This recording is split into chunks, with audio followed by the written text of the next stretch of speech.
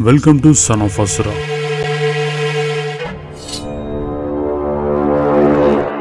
ఈరోజు మనం మాట్లాడుకునే టాపిక్ ఏంటంటే ఎస్సీ వర్గీకరణ విశ్లేషణ.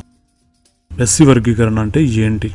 వర్గీకరణ అంటే ఎస్సీ రిజర్వేషన్లను ఏబిసిడీలుగా వర్గీకరించడం ద్వారా రిజర్వేషన్ ఫలాలు అందని కులాలకు ప్రాధాన్యతనివ్వడం అలాగే కుల జనాభా ఆధారంగా రిజర్వేషన్లు పంచుకోవడం. ఉమ్మడి ఆంధ్రప్రదేశ్ రాష్ట్రంలో మొత్తం షెడ్యూల్డ్ కులాలకు ఉన్న పదిహేను శాతం రిజర్వేషన్ని వర్గీకరించి అప్పటి యాభై తొమ్మిది కులాలకు జనాభా ప్రకారం పంచిపెట్టాలన్నది ఎస్సీ వర్గీకరణ డిమాండ్. వర్గీకరణ ఉద్యమం ఎలా పుట్టింది? పంతొమ్మిది వందల డెబ్బై రెండు సంవత్సరం నుంచి మాదిగ కులస్తులు ఏదో ఒక రూపంలో వర్గీకరణవాదాన్ని చేస్తూ వచ్చారు. అయితే పంతొమ్మిది వందల తొంభై నాలుగవ సంవత్సరంలో ఎస్సీ వర్గీకరణ లక్ష్యంగా జూలై ఏడున ప్రకాశం జిల్లా ఈదుమూడి గ్రామంలో మాదిగ రిజర్వేషన్ పోరాట సమితి ఎంఆర్పిఎస్ ఏర్పడింది. ఈ వర్గీకరణవాదాన్ని మాజీ నక్సలైట్ మందకృష్ణ తీసుకొచ్చారు. దండోరా ఉద్యమాలతో ముందుకు వచ్చిన మందకృష్ణ ఎస్సీ రిజర్వేషన్లలో ఉపకులాలకు అన్యాయం జరుగుతుందని అధిక శాతం ఎస్సీ రిజర్వేషన్లను మాల కమ్యూనిటీ ఉపయోగించుకుంటుందని మందకృష్ణ ఆరోపించారు. వర్గీకరణ అమలు. జూన్ పంతొమ్మిది వందల తొంభై ఏడవ సంవత్సరంలో చిత్తూరు జిల్లాలోని నారా చంద్రబాబు నాయుడు జన్మస్థలం నారావారిపల్లె నుంచి హైదరాబాద్ వరకు ఎంఆర్పిఎస్ ఒక మారథాన్ ర్యాలీని నిర్వహించిన తర్వాత అప్పటి ఆంధ్రప్రదేశ్ ముఖ్యమంత్రి చంద్రబాబు నాయుడు ఎస్సీలను ఏబీసీ మరియు డి కేటగిరీలుగా విభజించడానికి అంగీకరించారు. రెండు వేల సంవత్సరంలో చంద్రబాబు నాయుడు ప్రభుత్వం యాభై తొమ్మిది ఉపకులాలను వారి జనాభా ప్రకారం నాలుగు గ్రూపులుగా వర్గీకరించి వారి వాటాలను కేటాయించింది. ఈ విధంగా గ్రూప్ ఏలో రెల్లి కులంతో కలిపి పన్నెండు కులాలకు ఒక శాతం గ్రూప్ బిలో మాదిగ కులంతో కలిపి పదిహేడు కులాలకు ఏడు శాతం అలాగే గ్రూప్ సిలో మాలకులంతో కలిపి ఇరవై నాలుగు కులాలకు ఆరు శాతం గ్రూప్ డిలో నాలుగు కులాలకి ఒక శాతం రిజర్వేషన్ లభించింది. మాల మహానాడు ఆరోపణలు. పోతులు విఘ్నేశ్వరరావు అలియాస్ పివి రావుగా పరిచితుడైన దళిత సామాజిక ఉద్యమకారుడు. ఆంధ్రప్రదేశ్లో షెడ్యూల్ కులాలను ఏబిసిడి గ్రూపులుగా వర్గీకరించడాన్ని వ్యతిరేకిస్తూ మాల మహానాడు స్థాపించి ఉద్యమానికి నాయకత్వం వహించారు. పంతొమ్మిది వందల తొంభై ఐదులో మల్లెల వెంకట్రావు మాల మహాసభను వర్గీకరణకు వ్యతిరేకంగా ప్రారంభించారు. చంద్రబాబు నాయుడు ప్రభుత్వం జారీ చేసిన జీవో తర్వాత వర్గీకరణకు వ్యతిరేకంగా మాల మహానాడు పంతొమ్మిది వందల తొంభై ఏడు సంవత్సరంలో పీవీరావు అధ్యక్షతన ప్రారంభమైంది. మాల కులస్తుల రిజర్వేషన్ వాటా పదిహేను శాతం నుండి ఆరు శాతానికి మాత్రమే పరిమితం చేయడంతో మాలలను తీవ్ర ఆగ్రహానికి గురిచేసింది. చంద్రబాబు నాయుడు ప్రభుత్వం ఉత్తర్వులను ఈవి చెన్నయ్య మల్లెల వెంకట్రావు మాల మహానాడు వ్యవస్థాపకులు పివి రావు ఆంధ్రప్రదేశ్ హైకోర్టులో సవాల్ చేశారు. చంద్రబాబు నాయుడు రాష్ట్రంలో షెడ్యూల్ కులాలను ఉప గ్రూపులుగా విభజించడాన్ని పివిరావు వ్యతిరేకించడనే కారణంతో చంద్రబాబు నాయుడు పివి రావును ఉద్యోగం నుంచి తొలగించారు. ఆంధ్రప్రదేశ్లోని దళిత జనాభాలో ఇరవై శాతం మంది పంతొమ్మిది వందల నలభై ఏడో సంవత్సరంలో భారతదేశానికి స్వాతంత్రం వచ్చిన నాటి నుండి భారత జాతీయ కాంగ్రెస్ పార్టీకి ఓటు బ్యాంకుగా ఉండడం వల్ల పంతొమ్మిది వందల తొంభై ఎనిమిదవ సంవత్సరంలో తెలుగుదేశం పార్టీ నాయకుడు నారా చంద్రబాబు నాయుడు తన పార్టీని రాష్ట్రంలో బలంగా స్థాపించాలంటే ఈ దళితులను విభజించాల్సిన అవసరం ఉందని భావించి వర్గీకరణ చేశారని ఆరోపించారు పివిరావు ప్రత్యేక రిజర్వేషన్ ప్రయోజనాలను చంద్రబాబు నాయుడు ఏబిసిడి గ్రూపులుగా వర్గీకరించడానికి ఎంఆర్పిఎస్ ఉద్యమానికి నాయకత్వం చేయడానికి మాజీ నక్సలైట్ మందకృష్ణ మాదిగను తీసుకొచ్చాడని పివిరావు ఆరోపించారు. ఉమ్మడి ఆంధ్రప్రదేశ్లోని షెడ్యూల్ కులాల అసమానత కులపరమైంది కాక ప్రాంతాల పరమైందని పేర్కొన్నారు. ప్రధానంగా మాలు కులస్తులు కోస్తాంధ్ర ప్రాంతాల్లో ఎక్కువగాను రాయలసీమ తెలంగాణలో మాదిగ కులస్తులు ఎక్కువ మంది ఉండడం దీనికి ప్రధాన కారణమని గోదావరి కృష్ణా డెల్టా ప్రాంతంలోని ఆర్థికాభివృద్ధి వల్ల ఆ ప్రాంతపు కులస్తులకు అవకాశాలు ఎక్కువ లభించాయని దీనికి వర్గీకరణ సరైన పరిష్కారం కాదని ఆయన వాదించారు. అలాగే కులపరంగా షెడ్యూల్ కులాల మధ్య సామాజిక అంతరాలు ఉన్నాయన్న వాదనను తీవ్ర తోసిపుచ్చారు. న్యాయ విచారణ మరియు తీర్పులు. ప్రభుత్వం షెడ్యూల్ కులాల నడుమ సామాజిక అసమానతలను విచారించేందుకు రామచంద్రరాజు కమిషన్ అనే జ్యుడిషియల్ కమిషన్ను సెప్టెంబర్ పది పంతొమ్మిది వందల తొంభై ఆరున ఏర్పాటు చేసింది. ఎస్సీ వర్గీకరణ డిమాండ్కు అనుకూలంగా మే పంతొమ్మిది వందల తొంభై ఏడులో రామచంద్రరాజు కమిషన్ తన నివేదికను సమర్పించింది. జూన్ ఆరు పంతొమ్మిది వందల తొంభై ఏడున ప్రభుత్వం జీవో ద్వారా షెడ్యూల్డ్ కులాల కోటాను వర్గీకరించింది. మాలమహానాడు ప్రభుత్వం తీసుకొచ్చిన జీవోను వ్యతిరేకిస్తూ హైకోర్టులో కేసు వేసింది. సెప్టెంబర్ పద్దెనిమిది పంతొమ్మిది వందల తొంభై ఏడున Andhra Pradesh high court full bench ఈ జీవో ప్రభుత్వ పరిధికి మించిందని రాజ్యాంగ విరుద్ధమని పేర్కొంటూ జీవోను నిలుపుదల చేస్తూ తీర్పునిచ్చింది.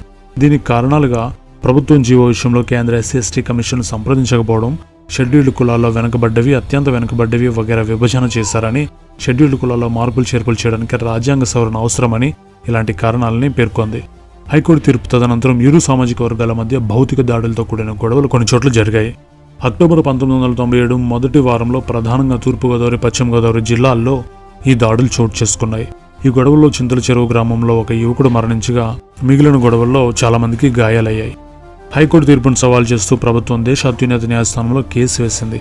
అయితే జీవో జారీ చేయడానికి ముందుగా కేంద్ర ఎస్ఎస్టీ కమిషన్ సలహా తీసుకోలేదన్న అభ్యంతరాన్ని తొలగించుకునేందుకు రాష్ట్ర ప్రభుత్వం ఈసారి ఎస్సీ ఎస్టీ కమిషన్ సలహా కోరింది. అంశం అప్పటికే అత్యున్నత న్యాయస్థానం పరిశీలనలో ఉన్నందున తాము సలహా ఇవ్వలేమని కమిషన్ నిరాకరించింది. దాంతో రాష్ట్ర ప్రభుత్వం అత్యున్నత న్యాయస్థానంలో వేసిన కేసు ఉపసంహరించుకుని మళ్ళీ ఎస్ఎస్టీ కమిషన్ సలహా కోసం అభ్యర్థించింది. ఈసారి కమిషన్ ఈ విషయమై సలహా ఇచ్చేందుకు మరికొంత సమాచారం కావాలని చెప్పింది. సుప్రీంకోర్టులోని ఐదుగురు న్యాయమూర్తుల రాజ్యాంగ ధర్మాసనం నవంబర్ ఏడు రెండు వేల నాలుగు శుక్రవారం నాడు ఈవి చిన్నయ్య వర్సెస్ ఆంధ్రప్రదేశ్ ప్రభుత్వం కేసులో షెడ్యూల్డ్ కులాలను ఉపసమూహాలుగా వర్గీకరించడం రాజ్యాంగ విరుద్ధమని ఏకగ్రీవంగా నిర్ణయించింది. అండరానితనం ఏకైక ప్రమాణం అని షెడ్యూల్ కులాల వర్గీకరణ రాజ్యాంగంలోని ఆర్టికల్ ఫోర్టీన్ ఫిఫ్టీన్ సిక్స్టీన్లను ఉల్లంఘించిందని తెలుపుతూ సుప్రీంకోర్టు రెండు వేల నాలుగులో ఈ కేసును కొట్టివేసింది. కానీ దశాబ్ద కాలం తర్వాత అంటే ప్రస్తుతం రెండు వేల ఇరవై నాలుగు ఆగస్టు ఒకటిన డివై చంద్రచూడ్ నేతృత్వంలోని ఏడుగురితో కూడిన సుప్రీంకోర్టు ధర్మాసనం వర్గీకరణకు అనుకూలంగా ఆరు ఇష్టు ఒకటి నిష్పత్తిలో తీర్పును ఇవ్వడం జరిగింది. కాబట్టి రెండు వేల నాలుగులో ఇదే సుప్రీంకోర్టు ఇచ్చినటువంటి తీర్పును తప్పుబడుతూ రెండు వేల ఇరవై నాలుగులో మళ్ళీ ఇదే సుప్రీంకోర్టు. ఈ నిలకడలేని న్యాయం పట్ల ప్రజల్లో ముఖ్యంగా ఈ దళిత వర్గాల్లో అభద్రతా భావం పెరుగుతుంది. రాష్ట్ర శాసనసభకు చట్టం రూపొందించే శాసన సామర్థ్యం లేదని అప్పీలుదారులు వాదించారు. రాజ్యాంగంలోని ఆర్టికల్ త్రీ ఫార్టీ వన్ ప్రకారం రాష్ట్రపతి జాబితాలో ఒకసారి జాబితా చేయబడితే షెడ్యూల్ కులాలు ఒక సజాతీయ తరగతిని కలిగి ఉంటాయి. దీని తర్వాత విభజన వర్గీకరణ కుదరదని వారు వాదించారు. అటువంటి వర్గీకరణ రాజ్యాంగంలో ఆర్టికల్ త్రీ ఫార్టీ వన్ మరియు ఆర్టికల్ ఫోర్టీన్ ఉల్లంఘిస్తూ రాష్ట్రపతి జాబితాతో ముడిపడిందని వారు వాదించారు. కాబట్టి ఈ తీర్పు రాజ్యాంగ వ్యతిరేకమైంది. రాజ్యాంగ సవరణ జరిగాక రాష్ట్రపతి జోక్యంతోనే వర్గీకరణ సాధ్యమైతే అది రాజ్యాంగబద్ధంగా ఉండేది. వర్గీకరణ వల్ల లాభాలు నష్టాలు. వర్గీకరణ అనేది ఇప్పటి వరకు రిజర్వేషన్లు పొందని లేదా తక్కువ పొందుతున్న కులాలకి లాభం చేకూరుస్తోంది. వర్గీకరణ వల్ల మాదిగలకు లాభమా నష్టమా అనే ప్రశ్న ఇప్పుడు చాలా ముఖ్యమైంది. ఎందుకంటే ఉమ్మడి ఆంధ్రప్రదేశ్ నాటి సమస్య రెండు తెలుగు రాష్ట్రాలుగా విడిపోయాక పరిష్కరించబడడం వల్ల తెలంగాణ మాదిగలకు నష్టమే అవుతుంది. రెండు వేల పదకొండు నాటి జనాభా లెక్కల ప్రకారం మాల మరియు మాదిగ కులాల లెక్కలను గమనిస్తే ఆంధ్రప్రదేశ్లో మాలల సంఖ్య నలభై లక్షల నలభై మూడు వేలకు పైగా ఉంటే మాదిగల సంఖ్య ముప్పై నాలుగు లక్షల అరవై ఎనిమిది వేలకు పైగా ఉంది. తెలంగాణలో మాదిగల సంఖ్య ముప్పై రెండు లక్షల ముప్పై మూడు వేలకు పైగా ఉంటే మాలల సంఖ్య పదిహేను లక్షల ఇరవై ఏడు వేలకు పైగా ఉంది. మొత్తంగా చూసుకుంటే ఉమ్మడి ఆంధ్రప్రదేశ్లో మాలల సంఖ్య యాభై ఐదు లక్షల డెబ్బై వేలకు పైగా ఉంటే మాదిగల సంఖ్య అరవై ఏడు లక్షలకు పైగా ఉన్నారు. కాబట్టి ముప్పై సంవత్సరాల పోరాటం తెలంగాణ మాలలను ఏ లేదా సి గ్రూప్కి మాదిగలను బి గ్రూప్కి మార్చితే ఉమ్మడి ఆంధ్రప్రదేశ్లో మాదిగలు ఎక్కువ. కానీ ఇప్పుడు సీమాంధ్రలో మాలల సంఖ్య ఎక్కువ. తెలంగాణలో మెజారిటీగా ఉన్న మాదిగలు ఇంతకుముందు మాలలపై ఏ ఆరోపణలు చేశారో అవే ఆరోపణలు భవిష్యత్తులో మిగిలిన కులాల నుంచి ఎదుర్కోవాల్సి రావచ్చు. దానివల్ల క్రిమి లేయర్ పెరిగి రిజర్వేషన్లు జనాభా ఆధారంగా కాకుండా ఆర్థిక పరిస్థితి ఆధారంగా మారిపోయి రిజర్వేషన్లు అంతమయ్యే పరిస్థితి ఉంటుంది. అంతేకాకుండా వర్గీకరణ అనేది రాష్ట్రాలు విచ్చలవిడిగా మార్చే రాజకీయ ఓటు బ్యాంక్ అంశంగా మారిపోవచ్చు. ఉదాహరణకి ఆంధ్రప్రదేశ్లో మాదిగులు టీడీపీ మాలలు వైసీపీ పార్టీకి అనుకూలంగా ఉన్నారనుకుంటే ప్రభుత్వం మారినప్పుడల్లా పార్టీ అనుకూల కులానికి తగ్గట్టు వర్గీకరణలో రిజర్వేషన్లు మారిపోయే అవకాశం ఉంది. దీనివల్ల మాదిగ మాల కుల గొడవలు నిత్యం జరుగుతూ ఉండే అవకాశం ఉంది. ఫర్ ఎగ్జాంపుల్ ఇప్పుడు టీడీపీ అధికారంలో ఉంది కాబట్టి మాదిగలకు అనుకూలంగా వర్గీకరణ చేపడుతుంది అనుకుందాం తర్వాత ఎలక్షన్లో వైసీపీ అధికారంలోకి వచ్చింది అనుకుందాం అప్పుడు మాలలకు అనుకూలంగా వర్గీకరణ రద్దు చేసే హక్కు రాష్ట్ర ప్రభుత్వాలకు ఉంది కాబట్టి వైసీపీ ప్రభుత్వం వర్గీకరణ తొలగిస్తుంది అనుకుందాం సో ఈ విధంగా అధికారంలోకి వచ్చినప్పుడల్లా ఒక ప్రభుత్వం వర్గీకరణ తొలగిస్తూ మరో ప్రభుత్వం వర్గీకరణను అమలు చేస్తూ ఇట్లా ఉండడం వల్ల రిజర్వేషన్లను ఇష్టానుసారంగా రాజకీయ పార్టీలు వాడుకునేలా రిజర్వేషన్లు మారిపోతాయి. ఈ విధంగా పార్టీలు అధికారం మారినప్పుడల్లా వాటి అనుకూల కులాలకి వర్గీకరణ ఇచ్చుకుంటూ లేదా తొలగించుకుంటూ రిజర్వేషన్తో ఆడుకోవడం మొదలు పెడతారు. కాబట్టి వర్గీకరణ అనేది ఉమ్మడి ఆంధ్రప్రదేశ్లోనే జరుగుంటే ఎంఆర్పిఎస్ ఆశించిన ఫలితాలు వచ్చుండేవి జనాభా ధామాషా ప్రకారం ఎవరి వాటా వారికి వస్తుంది కాబట్టి ఇదేమీ పట్టించుకున్న నష్టం కాదు. రిజర్వేషన్ ఉద్దేశ్యం మరియు క్రీమీ లేయర్. ఎస్సీ రిజర్వేషన్ల అంశానికి సంబంధించిన ఏ విషయం మాట్లాడినా బాగా గుర్తుపెట్టుకోవాల్సిన విషయం ఏంటంటే రిజర్వేషన్లు సామాజిక వివక్ష అసమానతల ఆధారంగా ఇవ్వబడ్డాయి అనేది. రిజర్వేషన్లు పేదరిక నిర్మూలనో లేదా సంక్షేమ పథకమో కాదు. కానీ ఎంఆర్పిఎస్ ఏం చెప్తుందంటే బీసీ కమ్యూనిటీలో ఉన్నట్లుగా ఏబిసిడి వర్గీకరణ కావాలన్నారు. క్రీమి లేయర్ అనేది భారత రాజకీయాలు సామాజికంగా ఆర్థికంగా మరియు విద్యాపరంగా అత్యంత అభివృద్ధి చెందిన వెనుకబడిన తరగతి సభ్యులను సూచించడానికి ఉపయోగించే పదం. పంతొమ్మిది వందల డెబ్బై ఒకటిలో సత్యనాథన్ కమిషన్ ఈ పదాన్ని ప్రవేశపెట్టింది.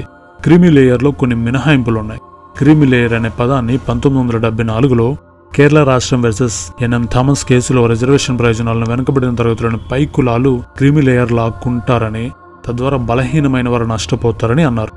దీనిని జస్టిస్ రామ్నందన్ కమిటీ పంతొమ్మిది వందల తొంభై మూడులో గుర్తించింది. అయితే అర్థమయ్యేలా చెప్పాలంటే ఈ క్రీమీ లేయర్ అంటే మనం ఒక కేక్ని తీసుకుంటే దాని పైపుతంతా కూడా క్రీమ్తో చేస్తారు. ఓకే? సో దాని లోపలంతా ఏముంటుందంటే ఆ క్రీమ్ అనేది మనం తినేస్తే లోపల ఏముంటుందంటే బ్రెడ్ మాత్రం ఉంటుంది. కాబట్టి రిజర్వేషన్ అందుబాటులో ఉన్న ముందు తరగతి కులాలు ఏవైతే ఉన్నాయో అవి క్రీమి క్రీమీ లేయర్.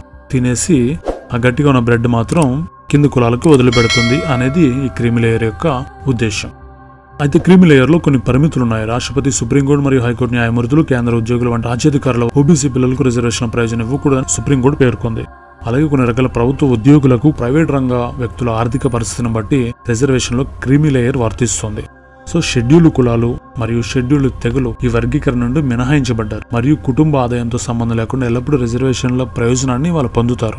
సో ఇక్కడ కూడా ఏం చెప్తుందంటే బీసీ రిజర్వేషన్స్ దగ్గరకు వచ్చేసరికి క్రీమీ లేయర్ అనేది వచ్చింది. క్రిమిలేయర్ అనే అంశం బీసీలో అందరికీ వర్తిస్తుంది కానీ ఎస్సీ ఎస్టీలకి వర్తించదు. అలాగే ఈ బీసీల్లో కూడా ఆర్థికంగా ఉన్నతమైన స్థానాల్లో లేదా పెద్ద పెద్ద ఉద్యోగాల్లో ఉన్నటువంటి స్థానాల్లో ఉన్న పిల్లలకి ఈ రిజర్వేషన్ వర్తించదు అనే నియమం అయితే ఉంది. సో ఇలాంటి కొన్ని పరిమితులు అనేది క్రిమి లేయర్లో ఉన్నాయి. సో అందులో ఏంటంటే doctor lawyer chartered account income tax consultant financial లేదా మేనేజ్మెంట్ ఇట్లా ఫిల్మ్ ఆర్టిస్టులు లేదంటే రచయితలు నాటక రచయితలు క్రీడాకారులు వ్యాపారస్తులు పరిశ్రమలు ఇట్లాంటి వాటిలో ఉన్న వాళ్ళ పిల్లలందరికీ కూడా వార్షిక ఆదాయం విషయంలో ఒక లిమిటేషన్ ఉంది. ఆ లిమిటేషన్ కంటే ఎక్కువ ఉన్న వాళ్ళకి ఓబీసీ రిజర్వేషన్ అనేది రాదు. సో ఆ లిమిటేషన్ అనేది కాలంతో పాటు మారుతూ వచ్చింది. మొదట్లో అది లక్షలు ఉండేది ఇప్పుడు ఎనిమిది లక్షలుగా పెంచుకుంటూ వచ్చారు కాలానికి తగ్గట్టుగా. సో క్రిమిలేయర్ వర్గీకరణ ముప్పై సెప్టెంబర్ రెండు వేల పద్దెనిమిది వరకు ఓబీసీలకు మాత్రం ఉద్దేశించబడింది. డిసెంబర్ రెండు వేల పంతొమ్మిదిలో ఎస్సీఎస్టీ కోటాలో క్రిమిలేయర్ వర్తింపజేయాలని కేంద్ర ప్రభుత్వం సుప్రీంకోర్టులో అప్పీల్ చేసింది. ఎస్సీ రిజర్వేషన్లు బీసీలకు వచ్చినట్టుగా ఆర్థిక పరంగా వచ్చినవి కావు. కులం పరంగా ఎదుర్కొన్న వివక్షల నుండి వచ్చినవి. అలాంటప్పుడు ఎస్సీ రిజర్వేషన్లు క్రిమిలేయర్ని అనుమతిస్తే రిజర్వేషన్ మూలాన్ని నాశనం చేసి ఆర్థిక పర రిజర్వేషన్లుగా కనిపిస్తాయి. దానివల్ల తక్కువ జనాభా కలిగిన వాళ్ళు రిజర్వేషన్ పొందడం పూర్తయ్యేలోపు మెజారిటీ ప్రజలైన మాల మాదిగలకు రిజర్వేషన్లు పూర్తిగా తగ్గిపోవడం లేదా నిర్మూలించడం జరిగే ప్రమాదం ఉంది. పంతొమ్మిది వందల తొంభై రెండులో Indra Sawhney and others versus union of India తీర్పు రాష్ట్ర అధికారాల పరిమితులను నిర్దేశించింది. మిగిలిన రిజర్వేషన్లు దళిత రిజర్వేషన్లు మధ్య తేడా ఏంటో తెలుసుకుందాం. దేశంలో రిజర్వేషన్లు సార్ పరిశీలిస్తే స్త్రీ రిజర్వేషన్లు అలాగే పీడబ్ల్యూడి రిజర్వేషన్లు అంటే పర్సన్ విత్ డిసబిలిటీస్ హ్యాండిక్యాప్ పీపుల్కి ఇచ్చే రిజర్వేషన్. ఈ రిజర్వేషన్లో క్రిమి లేయర్ అనేది ఉపయోగించరు. ఎందుకంటే అక్కడ సమస్య స్పష్టంగా కళ్ళకు కనబడుతుంది. స్త్రీలు లేదా పీడబ్ల్యూడి రిజర్వేషన్లు ఉపయోగించుకుని ఉన్నత స్థాయికి వచ్చాక వాళ్ళ రిజర్వేషన్ వదులుకోమంటే వాళ్ళు ఏం చెప్తారు? నేను స్త్రీగా లేదా పీడబ్ల్యూగా పుట్టడం వల్ల నాకు రిజర్వేషన్ వచ్చింది. ఆర్థిక పరిస్థితిని బట్టి కాదు. నేను ఆర్థికంగా మెరుగుపడడం వల్ల నా జెండర్ మారిపోతుందా? లేదా నా డిజబిలిటీస్ పోతాయా? అనే ప్రశ్న వస్తుంది. స్త్రీకి మరియు పీడబ్ల్యూడి రిజర్వేషన్లు రావడానికి ప్రధాన కారణం ఆర్థిక అసమానత కాదు. సామాజికంగా ఉన్న వివక్షే ప్రధాన కారణం. అలాగే దళిత రిజర్వేషన్లు కూడా ఆర్థికపరమైనవి కావు. దళిత వివక్ష అనేది పర్సన్ విత్ డిజబిలిటీస్ లాగా లేదంటే స్త్రీ లాగా నిరంతరం కళ్ళకు కనిపించేది కాదు. కాబట్టి వివక్ష ఆధారంగా వచ్చిన హక్కు ఆర్థిక పరంగా ముడిపెట్టడం అన్యాయం అవుతుంది స్వచ్ఛందంగా రిజర్వేషన్లు వదులుకోవాలని చెప్పి సుప్రీంకోర్టు న్యాయమూర్తి స్టేట్మెంట్ ఇచ్చారు. సరే స్వచ్ఛందంగా రిజర్వేషన్ వదులుకున్న ధనవంతుడైన దళితుడి మీద వివక్ష ఉండదని చెప్పగలుగుతారా? లేదు కదా? అగ్రవర్ణాలు ఉండే ఇళ్ళలో అతనికి రూమ్ రెంట్కి దొరుకుతుందా? లేదంటే అతను పెళ్ళి చేసుకోవడానికి అగ్రవర్ణాలు అంగీకరిస్తారా? అది కాకుండా కొన్ని రకాల వివక్షలు ఇంకా వెంటాడుతూనే ఉంటాయి. కాబట్టి వివక్ష ఉన్నంత వరకు అతడికి రిజర్వేషన్ ఉంటుంది. దాంట్లో మినహాయింపులు ఇచ్చే హక్కు కాన్స్టిట్యూషన్ ఇక్కడ ఎవ్వరికీ ఇవ్వలేదు. రిజర్వేషన్ అనేది ఓ అవకాశం. అది అందరికీ దక్కాలి. అనేది ఎంత ముఖ్యమో ఆ అవకాశాన్ని వినియోగించుకునే ప్రయత్నం చేయడం కూడా అంతే ముఖ్యం. బీసీ రిజర్వేషన్ల విషయంలో ఏబిసిడి వర్గీకరణ ఉన్నప్పటికీ ఆ రిజర్వేషన్లు కావాలని వర్గీకరణ కావాలని బీసీలు ఉద్యమాలు చేయలేదు. ఏబీసీడీలుగా వర్గీకరించబడ్డ బీసీలు కలిసే ఉంటున్నట్లు ఎస్సీలు కలిసి ఉండడం సాధ్యం కాదు. ఎస్సీల వర్గీకరణ ఘర్షణలు ద్వేషాలతో మొదలైంది. కాబట్టి అవి పెరుగుతాయి తప్ప తగ్గవు. పైగా బీసీ రిజర్వేషన్లు ఆర్థిక వెనుకబాటు నుంచి పుట్టాయి తప్ప వివక్షల నుంచి కాదు. ఆంధ్రలో బీసీ బిలో ఉన్న సెట్టిబలిజ తెలంగాణలో యాదవ గౌడ్ ముదిరాజ్ తప్ప ఆర్థికంగా ఎదుగుదల కనిపించిన కులాలు లేవు. బీసీఏలో ఉన్న గంగపుత్ర అగ్నికుల క్షత్రియ లాంటివి ఇప్పటికీ కుల వృత్తులే చేస్తున్నాయి. ఇంచుమించు బీసీఏ అండ్ బి అలాగే ఈలో కులాలన్నీ ఇప్పటికీ చాలా వరకు కుల వృత్తులనే చేస్తున్నాయి. కాబట్టి వర్గీకరణ వల్లే అభివృద్ధి అనేది సాధ్యం కాదు. అభివృద్ధి కావాలంటే ఏం చేయాలంటే ఫస్ట్ కుల వృత్తులను వదిలేయాలి. మీరు కులాన్ని పెంచుకుంటూ కుల వృత్తులు చేసుకుంటూ రిజర్వేషన్ రాలేదు అంటే అది సరైన వాదన కాదు. ఉపకులాల అసమానతలు వర్గీకరణ అవసరమా? నిజానికి దళితుల ఉమ్మడి సమస్యలు అనేకం ఉండగా ఈ చీలికలే ప్రధానం అంటే దాని ఉద్దేశం అర్థం చేసుకోవాలి. దళిత క్రైస్తవుల సమస్య ఉంది ఎస్సీ ఎస్టీ సబ్ప్లాన్ నిధుల సమస్య ఉంది ఎస్సీ ఎస్టీ అట్రాసిటీ అలాగే రిజర్వేషన్ అండ్ ప్రమోషన్స్ ఇలాంటి ఎన్నో ముఖ్యమైన ఉమ్మడి సమస్యలు ఉండగా వర్గీకరణ ఎందుకు ప్రధానమైంది అనేది ఆలోచించాలి. ఎంఆర్పిఎస్ ఆరోపించినట్టుగా మాదిగలకు మిగిలిన ఉపకులాలకు అన్యాయం జరిగిందా అనేది ఓసారి వాస్తవ పరిశీలన చేద్దాం. మాదిగలకు చెప్పులు కొట్టడం డప్పులు కొట్టడం కబైలాల నిర్వహణ ఇలాంటి కుల వృత్తులు ఉన్నాయి. అలాగే మిగిలిన ఉపకులాలకు కూడా ఏదో ఒక కుల వృత్తి ఉంది. కానీ మాలలకు కుల వృత్తి లేదు. వ్యవసాయ కూలీలుగా ఉన్న మాలలు ఏడాది మొత్తం కష్టపడరు. వ్యవసాయం కోతలకు వచ్చినప్పుడు నాట్లు వేసేటప్పుడు తప్పితే పెద్ద పనులుండవు. కాబట్టి వాళ్ళు చదువుకుని ఉద్యోగాలు స్థిరపడడం మొదలుపెట్టారు. కుల వృత్తి ఉన్న మిగతా కులాలు వృత్తిని కొనసాగించే తప్ప చదువు ఉద్యోగాలకు తొందరగా ప్రాధాన్యత ఇవ్వలేదు. ఇదే ఎస్సీలో మిగతా కులాల వెనుకబాటికి ప్రధాన కారణం. దానికి తోడు మాదిగులు వెనుకబడిన ప్రాంతాల్లో ముఖ్యంగా తెలంగాణ రాయలసీమ ఉత్తరాంధ్రలో ఉండడం కూడా కాదనలేని నిజం. ఉమ్మడి ఆంధ్రప్రదేశ్లో షెడ్యూల్డ్ క్యాస్ట్లో నలభై ఒకటి పాయింట్ పదకొండు శాతం మాలలు మాదిగులు నలభై ఎనిమిది పాయింట్ ఇరవై ఏడు శాతం ఉండగా వారి అక్షరాస్యత గమనిస్తే మాలల్లో అక్షరాస్యత రేటు అరవై శాతానికి పైగా ఉండగా మాదిగలు ఇది నలభై శాతం మాత్రం ఉంది. కాబట్టి చదువుకోకుండా ఉద్యోగాలు రావు. సో ఉద్యోగాలు రానప్పుడు రిజర్వేషన్ వాళ్ళే వాడేసుకుంటున్నారు మా ఇది దోచేసుకుంటున్నారు అనడం అర్థం లేని విషయం. ఎక్కువగా చదువుకున్న వాళ్ళే ఎక్కువ రిజర్వేషన్ వాడుకుంటారు. సరే అయ్యింది ఏదో అయ్యింది ఇప్పుడు కుల వృత్తులకు మనుగడ లేదు. అందరూ సమాన హక్కులు పొందుదాం అంటే అర్థవంతంగా ఉంటుంది కానీ ఎంఆర్పిఎస్ అలా అనడం లేదు. మాలాల్ని దోపిడీదారులుగా చిత్రీకరించింది. సరే మిగిలిన కులాల ప్రాతినిధ్యం కూడా ఉండాలి కాబట్టి వర్గీకరణ అవసరమే అనుకుందాం. కానీ ఆ వర్గీకరణ పరుగు పందెంలో చివరి వాడి కోసం ముందు పరిగెట్టేవాడిని ఆగమనడంలా ఉండకూడదు. ఎవరి జనాభా ప్రకారం వాళ్ళకి వర్గీకరణ జరగాలి ముందుకు పరిగెట్టేవాడు ముందుకే వెళ్ళాలి. ఆంధ్రలో మాలలు ఎస్ఎస్సి అనేట్టే తెలంగాణలో మాదిగలు ఎస్ఎస్సి అవుతారు. మందకృష్ణ మాదిగ ఉద్యమం జాతిని విడదీసిందా? నష్టాలు లాభాలు తెలుసుకుందాం. తాజాగా సుప్రీంకోర్టు తీర్పు తర్వాత చాలా చోట్ల అంబేద్కర్ విగ్రహాల దగ్గర మందకృష్ణ ఫోటో పెట్టి దండలు వేయడం కనిపిస్తుంది. మాదిగల పోరాటం గెలిచినట్టుగా వారు భావిస్తున్నారు. అంబేద్కర్ ఐడియాలజీకి విరుద్ధంగా మడువాదానికి అనుకూలంగా మాదిగ మాల సంఘాలు పుట్టుకు రావడానికి కారణం మందకృష్ణ. ద్వేషపూరిత ఉద్యమంగా మాదిగ ఉద్యమాలు ఉన్నాయి. ముఖ్యంగా కనిపిస్తే తాచుపమనైనా వదిలేండి కానీ మాలవాడిని వదలకండి అంటూ మందకృష్ణ ఉపన్యాసాలు ఇచ్చారు. ఈ వర్గీకరణ వల్ల మాల మాదిగల మధ్య దూరం పెరిగింది. మరింత పెరుగుతుందనేది శాశ్వత శత్రువులుగా చేస్తుందనేది వాస్తవం. మనువాదాన్ని తీవ్రంగా అమలు చేస్తున్న బీజేపీ ద్వారా వచ్చిన ఈ విజయం అంబేద్కర్ వారసత్వంగా కొనసాగే అర్హతను ప్రశ్నించేలా చేసింది. మాల మాదిగలే కాకుండా ఉపకులాల మధ్య కూడా కుల భావనను పెంచడం మనువాదు గెలిపే తప్ప అంబేద్కరిజం కాదని స్పష్టం అవుతుంది అంబేద్కర్ కులవాదాన్ని నిర్మూలించమంటే కులవాదంతో మాల మాదిగలు పోరాడుతున్నారు. మాదిగ దండోరా పెట్టి మందకృష్ణ పేరు వెనుక మాదిగను చేర్చుకోవడం కుల వ్యవస్థను పటిష్టపరుస్తుందే తప్ప నిర్మూలించదు. మాదిగ అనే పేరు తగిలించుకొని ఆత్మగౌరవం వస్తుందా అంటే రాదని చెప్పాలి. ఆత్మగౌరవం అనేది బ్రాహ్మణుడు సృష్టించిన కుల తోకలో ఉండదు. మన అసలైన అస్తిత్వపు చరిత్రలో ఉండాలి. అలాగే కౌంటర్ ఉద్యమంగా మాలమహానాడు కూడా దళిత ఐక్యత లాంటి పేరుతో రావాల్సింది. కానీ ఇది కూడా కులవాదంతోనే వచ్చి అంబేద్కర్ ఆశయాలకు తూట్లు పొడిచింది. మందకృష్ణ. రాడికల్గా పూర్వజీవితం గడిపిన మందకృష్ణ మాదిగా ఎంఆర్పిఎస్ వ్యవస్థాపక అధ్యక్షులు. వామపక్ష ఉద్యమాలతో సంబంధం ఉన్న కృపాకర్ కార్యదర్శి వ్యవహరించారు. పంతొమ్మిది వందల తొంభై దశకంలో ఉద్యమం ప్రాచుర్యాన్ని సంతరించుకుంది.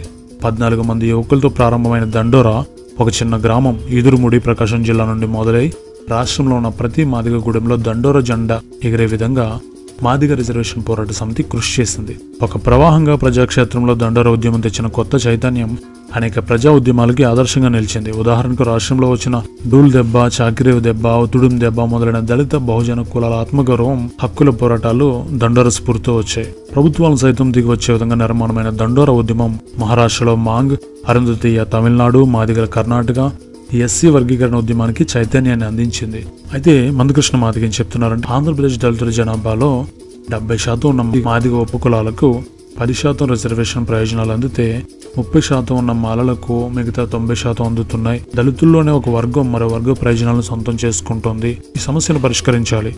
అన్యాయం పాలైన వర్గానికి న్యాయం జరగాలి. బీసీలు ఏబీసీడీ వర్గీకరణ వల్లే ఎవరి వాటా వారు అనుభవించగలుగుతున్నారు. వర్గీకరణతో బీసీలో చీలిక రానప్పుడు ఎస్సీలో వర్గీకరణ జరిగితే చీలిపోతారని ఎలా అంటున్నారు?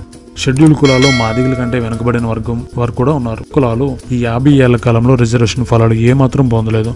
వాళ్ళని ఏం చేయాలి? రిజర్వేషన్ పంపిణీలో మొదటి ముద్ద వాళ్ళకు పెట్టండి అని మందకృష్ణ మాదిగ అన్నారు. సో ఇప్పుడు మందకృష్ణ ఏదైతే చెప్పారో దాని అంత్యం అంతటికీ మనం వివరణ ఇచ్చుకున్నాం. బీసీలో వర్గీకరణ వల్ల ఏ విధమైన చిలుకలు రాలేదు వాళ్ళందరూ సమైక్యంగా ఉన్నారని మందకృష్ణ మాదిగ ఆరోపించారు. దానికి మనం ఇంతకుముందు ఆల్రెడీ సమాధానం ఇచ్చుకున్నాం. బీసీ వర్గీకరణను లేదా రిజర్వేషన్లు బీసీలు ఎప్పుడు కోరలేదు. కాబట్టి వాళ్ళలో చీలికలు అనేవి రాలేదు. పైగా ఇది ఆర్థిక పరంగా వచ్చినటువంటి రిజర్వేషన్లు కానీ ఎస్సీ రిజర్వేషన్ అనేది వివక్ష వాళ్ళు వచ్చినటువంటి రిజర్వేషన్లు. సో అలాగే ముప్పై శాతం ఉన్న వాళ్ళు తొంభై శాతం అనుభవిస్తున్నారు డెబ్బై శాతం ఉన్న వాళ్ళు పది శాతం మాత్రం అనుభవిస్తున్నారు అనేది కూడా ఆ వాస్తవం. ఎంఆర్పిఎస్ వ్యవస్థాపక అధ్యక్షుడైన మందకృష్ణ మాదిగ వికలాంగుల పక్షాన హృద్రోగుల పక్షాన వృద్ధులు వితంతుల పక్షాన కూడా కొన్ని పోరాటాలు చేశారు. రీసెంట్గా మాయావతి ఒక ప్రెస్ నోట్ని రిలీజ్ చేశారు. సో దాని యొక్క ముఖ్యాంశాలు ఒకసారి తెలుసుకుందాం. ఇప్పుడు రాష్ట్ర ప్రభుత్వాలు వర్గీకరణ చేపట్టే క్రమంలో మరిన్ని కొత్త సమస్యలు పుట్టుకొస్తాయి. ముఖ్యంగా బీజేపీ కాంగ్రెస్ మరియు సమాజ్వాదీ పార్టీలు ఎస్సీ మరియు ఎస్టీ తరగతులకు రిజర్వేషన్లు ఇవ్వడాన్ని ఎప్పటి నుంచో వ్యతిరేకిస్తున్నాయి. అందుకే వారి న్యాయవాదులు వర్గీకరణపై చాలా గట్టిగా కోర్టు ముందు వాదనలు చేశారు. ఈ ఉపవర్గీకరణ కారణంగా చాలా పోస్టులు ఖాళీగా ఉంటాయి. మరియు భవిష్యత్తులో ఆ పోస్టులు నాన్ రిజర్వ్డ్ కేటగిరీలోకి మార్చబడే బలమైన అవకాశం ఉంది. అత్యంత గౌరవనీయులైన బాబాసాహెబ్ అంబేద్కర్ రాజ్యాంగం ప్రకారం షెడ్యూల్డ్ కులాలు మరియు తెగలకు రిజర్వేషన్ కల్పించిన ప్రధాన లక్ష్యం ఇప్పుడు ఒక విధంగా నిర్వీర్యం అవుతుంది రెండు వేల నాలుగులో సుప్రీంకోర్టు తన తీర్పులో షెడ్యూల్డ్ కులాలు మరియు షెడ్యూల్డ్ తెగలలో ఏదైనా ఉపవర్గీకరణ భారత రాజ్యాంగం యొక్క ప్రాథమిక స్ఫూర్తికి విరుద్ధమని పేర్కొంది. రెండు వేల నాలుగు నాటి ఈ నిర్ణయం ద్వారా సమానత్వ హక్కును ఉల్లంఘించినందుకు గౌరవ న్యాయస్థానం ఆంధ్రప్రదేశ్ ప్రభుత్వం ఆమోదించిన ఆంధ్రప్రదేశ్ షెడ్యూల్డ్ కులాల రిజర్వేషన్ యొక్క చట్టం రెండు వేలను కూడా అప్పట్లో రద్దు చేసింది. ఈ వర్గీకరణ ఈ కులాలను విభిన్నంగా పరిగణించడం ద్వారా సమానత్వ హక్కును ఉల్లంఘిస్తుందని రెండు వేల నాలుగు సుప్రీంకోర్టు బెంచ్ చెప్తే సుప్రీంకోర్టు బెంచ్ ఆ నిర్ణయాన్ని రద్దు చేసింది. అయితే ఈ నిర్ణయంపై చాలా భిన్నాభిప్రాయాలు తలెత్తుతాయి. రాష్ట్రాలు చేయే ఉప వర్గీకరణ అధికరణలు త్రీ ఫార్టీ వన్ మరియు త్రీ ఫార్టీ టూ కింద రాష్ట్రపతి నోటిఫికేషన్ ఉల్లంఘించడమే కాకుండా పూర్తిగా రాజ్యాంగ విరుద్ధం అవుతుంది. ఎందుకంటే రాష్ట్రపతి అధికారాన్ని ఏ రాష్ట్ర ప్రభుత్వం రద్దు చేయదు. రిజర్వేషన్ను పూర్తిగా రద్దు చేయాలనే ఆలోచనతో తీసుకున్న తీవ్రమైన చర్యే ఈ వర్గీకరణ. అలాగే రెండు వేల ఇరవై నాలుగు ఆగస్టు ఒకటిన గౌరవనీయమైన సుప్రీంకోర్టు ఇచ్చిన తీర్పు తర్వాత షెడ్యూల్డ్ కులాలు మరియు తెగల ప్రజల మధ్య పరస్పర ద్వేష భావన పెరిగి సమాజంలో వైరుధ్యం ఏర్పడుతుంది. విభజన స్ఫూర్తి మరింత ప్రోత్సహించబడుతుంది. ఇది దేశం యొక్క ఐక్యత మరియు సమగ్రతపై తీవ్రమైన దాడి అవుతుంది. షెడ్యూల్డ్ కులాలు మరియు తెగలు సాధారణ కులాలు కానప్పటికీ అవి భారత రాజ్యాంగంలో ఆర్టికల్ త్రీ ఫార్టీ వన్ మరియు త్రీ ఫార్టీ టూ కింద నోటిఫికేషన్ ద్వారా మాత్రమే ఉనికిలోకి వచ్చాయి. షెడ్యూల్డ్ కులాలు అంతిమంగా రిజర్వేషన్లు కోల్పోతాయి. మరియు వాటి రిజర్వేషన్ల వాటా కూడా చివరికి ఏదో ఒక రూపంలో సాధారణ వర్గానికి అంటే జనరల్ కేటగిరీకి ఇవ్వబడుతుంది. సుప్రీంకోర్టు ఇచ్చినటువంటి తీర్పులో క్రిమి లేయర్ కేటగిరీ అనేది నిర్ణయించడానికి ఏ ప్రమాణాలు ఉండాలి అనేది సుప్రీంకోర్టు తేల్చలేదు.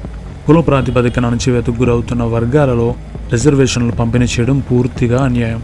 రాజ్యాంగ విరుద్ధం మరియు తప్పు. ఎందుకంటే దళితులు మరియు గిరిజనుల రిజర్వేషన్ యొక్క ఉద్దేశం కుల దురాచారాలను తొలగించడం. ఈ ఉపవర్గీకరణ ఇప్పుడు రాజకీయ పార్టీలు రాజకీయ ఆయుధంగా ఉపయోగించబడతాయి. ఒకవైపు రాజకీయ పార్టీలు కొన్ని షెడ్యూల్డ్ కులాలు మరియు తెగలను తమ రాజకీయ లక్ష్యాలను నెరవేర్చుకోవడానికి మరియు వారి పట్ల వివక్ష వాతావరణం సృష్టించడం ద్వారా వారి లక్ష్యాన్ని సాధించుకుంటాయి. మరోవైపు షెడ్యూల్డ్ కులాలు మరియు తెగల యొక్క ఈ ఉపవర్గీకరణ కారణంగా చాలా పోస్టులు ఖాళీగా ఉంటాయి. చివరిగా అంటరాని కులాలన్నీ ఒకే షెడ్యూల్లో ఉంటే ఆ కులాలన్నీ ఐకమత్యంతో తాము అనుభవిస్తున్న కులవివక్షపై కలిసికట్టుగా ఐక్యంగా పోరాటం చేస్తాయని బాబాసాహెబ్ అంబేద్కర్ గారు అనుకున్నారు. ఆంధ్రప్రదేశ్లో పంతొమ్మిది వందల అరవై తొమ్మిదిలో కంచికచర్ల కోటేశు సజీవ దహనం జరిగింది. పంతొమ్మిది వందల ఎనభై మూడులో పందిరికుప్పం పంతొమ్మిది వందల ఎనభై ఐదులో జరిగిన కారం చెడు పంతొమ్మిది వందల తొంభై రెండులో జరిగిన చుండూరు ఊచుకోతతో షెడ్యూల్డ్ కులాల పోరాటం పతాక స్థాయికి చేరుకుంది. ఆంధ్రప్రదేశ్లో షెడ్యూల్డ్ కులాల ఐక్యత భారతదేశంలో చరిత్ర సృష్టించింది. పంతొమ్మిది వందల తొంభై ఐదు వరకు షెడ్యూల్డ్ కులాలు మాల మాదిగానే భేదం లేకుండా ఉద్యమాలు చేస్తూ అక్కర కుల అంటరాని అంటరానితనానికి వ్యతిరేకంగా పోరాటం చేశారు. ఈ ఐక్యత రాజకీయ పరిణామాలపై ప్రభావితం కావడం అదే టైంలో బీఎస్పీ పార్టీ ఆంధ్రప్రదేశ్లో ఊహించిన స్థాయిలో నిలబడడం చూసి మనువాదులు మాలల మరియు మాదిగల మధ్య ఐక్యతను నాశనం చేయడానికి దరువు ఎల్లయ్య అలియాస్ మందకృష్ణ మాదిగను పావుగా ఉపయోగించి ఎంఆర్పిఎస్ను స్థాపించాయి అనేది ఒక వాదన. ఎస్సీ వర్గీకరణలో ఏ చంద్రబాబు ఏటుగా మందకృష్ణలను దళిత జాతి విభజకులని మాల మహానాడు ఆరోపించింది. So thanks for watching